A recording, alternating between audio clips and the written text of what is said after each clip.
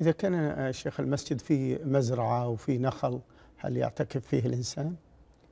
المسجد الذي تصلى فيه الجماعة يعتكف فيه في أي مكان. في أي مكان. نعم.